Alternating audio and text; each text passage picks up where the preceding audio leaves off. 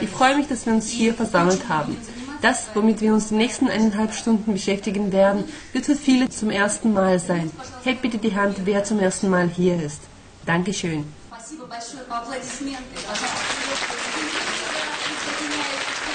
Das ist Information, die das Leben verändern kann.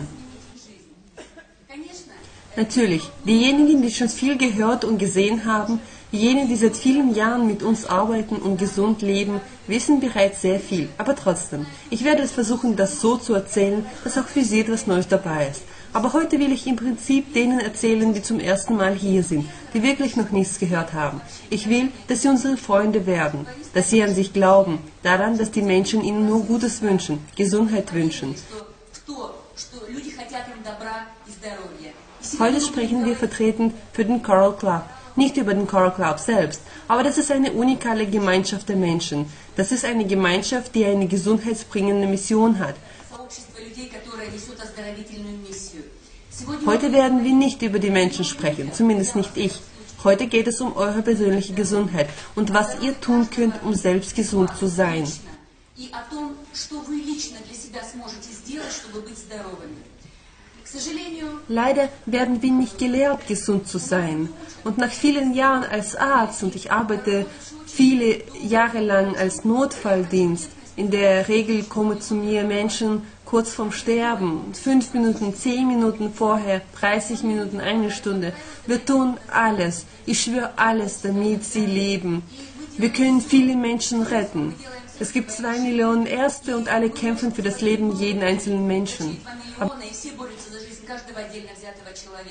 aber wenn der Mensch zurückkommt oder nicht stirbt, stellt sich die Frage, warum kam er auf den Notfalltisch? Warum geht es ihm schlecht? Warum kann er sterben? Was tut er falsch? Hier kommen ganz andere Gedanken. Diese Gedanken betreffen nicht, wie soll ich den Menschen heilen, sondern was soll man tun, damit er nicht zum zweiten Mal zu uns kommt.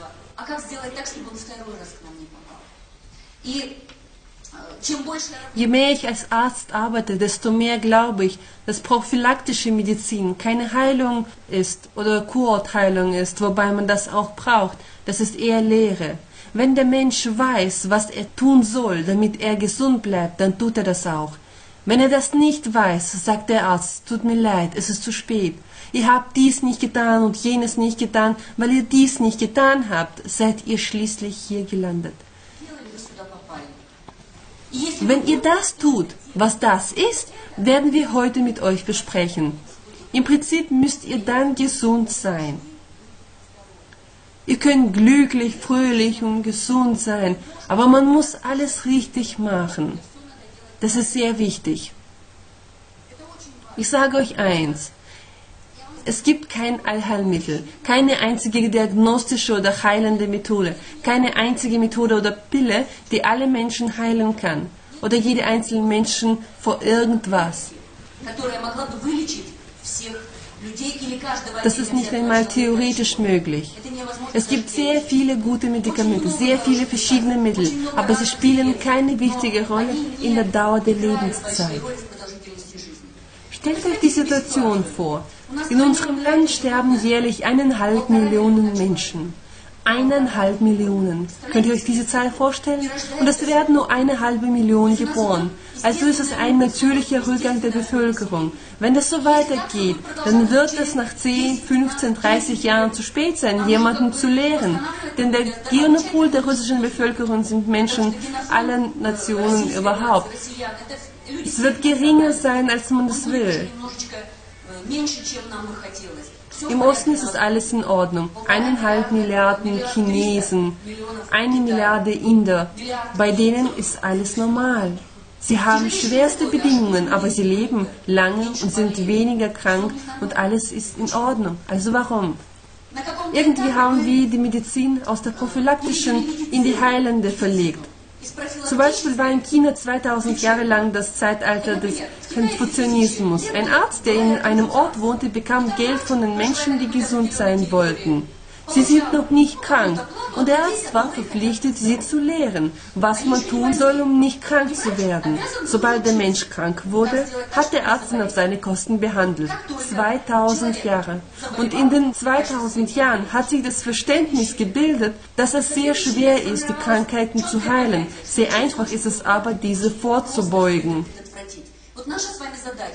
Und unsere Aufgabe, meine als Lehrer und eure als eines Menschen, der die Verantwortung für seine Gesundheit übernimmt, ist es, die richtigen Dinge zu tun. Die Statistik ist eine recht ernste Sache. Ich werde heute euch erzählen, dass eine Diagnose noch kein Endurteil ist. Die Gesundheitsweltorganisation sagt, dass 70 Prozent aller Diagnosen in der Welt falsch gestellt werden. Überhaupt falsch. Das heißt, dass 70 Prozent der Menschen falsch behandelt werden und das ist nicht nur in unserem Land so. Das ist in der ganzen Welt so. Warum sagt man das? Weil man die Gründe für Krankheiten nicht berücksichtigt, sie nicht erkennt. Es ist unmöglich, dann deren Folgen zu heilen. Wir gehen heute nicht von Präparaten aus, sondern von den Gründen aus. Erster Grund. Zum Beispiel wird jede vierte Person in der Welt infolge von Herzkreiserkrankungen sterben. Wenn ich sage in der Welt, reagiert ihr ganz ruhig. Was ist schon, wenn jede vierte in der Welt stirbt? Aber wenn ich sage, jeder vierte von uns hier, die hier sitzen, stirbt aufgrund der Herzkranzgefäßerkrankung, denn die Weltstatistik ist dasselbe. Sie ist überall gleich. Wie gefällt euch das? Überhaupt nicht. Das ist es ja. Das kann niemandem gefallen. Ich werde euch gleich erzählen, was Infarkt ist und was man tun soll, damit man ihn nicht kriegt. Ich werde dann eine Hoffnung haben, dass wir die Statistik wenigstens innerhalb der Gemeinschaft hier verändern können. Denn ein Mensch, der die Informationen bekommen hat, wie man es richtig macht, wird hinterher nicht alles falsch machen. как делать правильно, делать потом все неправильно. Zu mir kommen Menschen, mit denen ich vor fünf Jahren gesprochen habe. Wissen Sie, ich war ein Invalid ersten Grades, jetzt bin ich vollkommen gesund. Wissen Sie, mein Kind war kurz vorm Sterben, nun ist er gesund und macht Sport. Ich habe nicht etwas super Tolles gemacht. Ich habe nur angefangen, alles richtig zu machen. Also, wir fangen mit dem schwierigsten Thema an. Ich möchte euch zeigen, dass die Krankheit und der Grund der Krankheit völlig verschiedene Dinge sind. Nun, Blut. Gesundes Blut ist eine sehr gute Flüssigkeit. Im Grunde genommen unsere Seele, die durch unseren Körper fließt. Was ist eigentlich ein gesundes Herz? Das ist ein kleiner Motor, der lebenslang schlägt und diese Flüssigkeit pumpt. Was kann mit diesem Herz passieren? Wir können erzürnen, wir können nervös sein, wir können irgendwie uns erkälten, damit es das Herz belastet.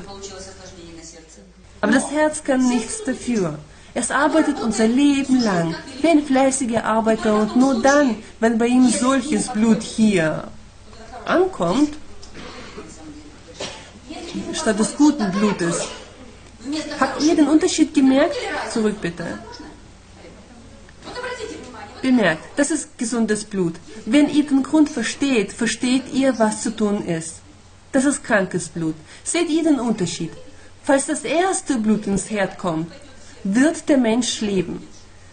Wenn das zweite Blut kommt, stirbt er. Dabei stirbt er sozusagen in völlig gesundem Zustand. Er hat was Falsches gegessen, hat sich aufgeregt, eine Situation ist aufgetreten, die er nicht ändern kann. Im Endeffekt stirbt der Mensch. Was kann das Herz dafür? Das Herz weiß nicht, welches Blut zu ihm kommt. Millionen von Menschen, die über 50 sind, leiden unter klinischer Herzkrankheit und alle beschuldigen das Herz. Alle heilen es mit Tabletten, versuchen seine Gefäße zu verändern, verengen, verbreiten. Alle versuchen Blutdruck zu senken, zu erhöhen, es irgendwie zu regulieren. Alle versuchen den Atemrhythmus zu verlangsamen oder eher zu erhöhen. Auch versuchen alles zu betäuben, wenn der Kopf schmerzt, nimmt man eine Tablette, dann tut es nicht mehr weh. Schmerzt der Fuß, nimmt man eine Tablette, damit er nicht schmerzt. Die Natur ist so weise, dass sie alle Symptome, die bei uns erscheinen, auf den ersten Plan vorbringt, um uns nur zu sagen, mein Lieber, du lebst nicht richtig, du isst nicht richtig, du bewegst dich nicht richtig, nicht genug, du nutzt das Wasser falsch oder gar nicht, du gräbst falsch. Also erscheint unser Schmerz, beliebige Krankheit, beliebige Diagnose als Zeichen, dass wir etwas falsch machen. Menschen kommen und fragen, was soll ich tun? Ich esse Fettiges und vertrage es nicht. Meine Leber fängt an zu schmerzen. Was soll ich tun? Welche Tablette soll ich einnehmen, damit ich Fettes essen kann und die Leber nicht wehtut? Ich sage, na die Leber schmerzt, weil ihr Fettiges nicht verträgt. Wahrscheinlich muss man das Fett weglassen. Sagt er, na wie soll ich ohne Fettigem leben? Sehr einfach, prüft zuerst, ob ihr Gardiose in der Leber habt und dann reden wir weiter, ob ihr Fettiges nicht verträgt. Also spürt ihr, wohin ich gehe? Ich führe dazu, dass eure Krankheiten nicht das ist, was geheilt werden muss. Eure Krankheit ist die Belohnung dafür, dass ihr etwas falsch macht. Das ist ein Cholesterin. Das ist eigentlich Nahrung. Hier ein Milchcholesterin. Wenn er ins Herz kommt, wird das Herz ohne nachzudenken stehen bleiben. Denn der Durchmesser von diesem Cholesterin ist um Vielfaches größer als der Durchmesser eines Erythrozyten. Und in das Herzkranzgefäß kann nur ein einzelner Erythrozyt gelangen. Und was kann das Herz dafür? Was können die Gefäße dafür? Was können die Medikamente, die der Mensch haufenweise trinkt? Was kann das Aspirin dafür, dass das Blut angeblich verdünnt? In Wirklichkeit verdünnt sie nicht. Denn wenn man kein Wasser hinzufügt, wird nichts verdünnt. Es kann für drei, vier Stunden in einen anderen Zustand übergehen und dann wieder die alte Form annehmen.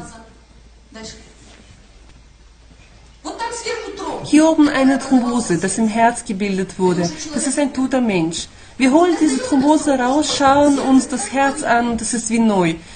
Aber das Blut, das in diesem Moment kam, ist geronnen. Warum das geronnen ist, daran haben wir nicht nachgedacht. Insult, Infarkt am Herzen, das führt praktisch zum Tod. Aber Millionen von Menschen können dem entfliehen. Thrombose. Das sind dieselben zusammengeklebten Erythrozyten. Cholesterin, Blutverdickung. Grund? Wassermangel. Ein einziger Grund. In den Gefäßen ist kein Wasser.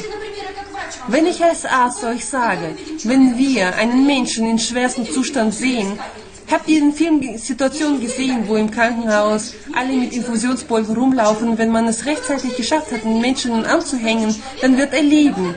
Haben sie es nicht geschafft, wird er sterben. Warum? Weil der einzige Tod, von dem man den Menschen retten kann, Wasser in den Venen ist. 1, 2 Liter, etwas salzig, etwas Süßes, damit es keine destillierte Elektrolyten sind. Sie ist etwas mit Mineralien und Vitaminen. Das war's. Hat man den Menschen rechtzeitig angeschlossen, wird der Mensch leben. Wie lange wird er leben? Vielleicht drei Tage, vielleicht eine Woche oder einen Monat. Vielleicht stirbt er sofort, nachdem man ihn entlassen hat. Warum? Na, wenn man den Grund nicht ändert, wird er auf demselben Weg gehen. Wenn wir lange leben wollen, wollen wir lange leben? Ja, natürlich. Dann müssen wir die Gesetze der Natur verstehen. Nicht die Gesetze der Diagnoseaufstellung, nicht die Arbeitsgesetze der Ärzte. Selbst wenn euch der beste Arzt der Welt konsultiert, heißt es nicht, dass er euch retten wird. Im Schnitt ist die Lebenszeit der Ärzte wesentlich niedriger als der übrigen Bevölkerung. Wir sehen eher alte Säufer als alte Ärzte. Die Ärzte haben oft schwere Krankheiten und sterben früh. Was ist der Grund dafür? Der Grund liegt darin, dass wir praktisch entwöhnt sind, reines Wasser zu trinken. Total entwöhnt. Der Mensch ist ein biologisches Wesen. Versucht einen Papagei Kakao zu geben oder Saft oder Pepsi. Versucht einen Katze Kakao zu geben oder dem Hund. Er wird rausgehen und Wasser aus der Pfütze trinken. Wir haben das wichtigste Gesetz gebrochen, Gesetz des Lebens. Wir haben es gebrochen, nicht weil wir Verbrecher sind, klein oder groß. Wir haben es gebrochen aufgrund unseres Unwissens. Auf irgendeinem Wege, vielleicht vor ungefähr 50 Jahren, als das erste Sprudelwasser für drei Pfennig erschien, fingen wir an, statt normalen Wasser Tee, Kakao, aromatisierten Tee, Kaffee, mineralisiertes Wasser zu trinken. Irgendwelche Sachen, die zu unserem Körper keinen Bezug haben, die unseren Körper die Körperfunktion behindern, das Blut gerinnt.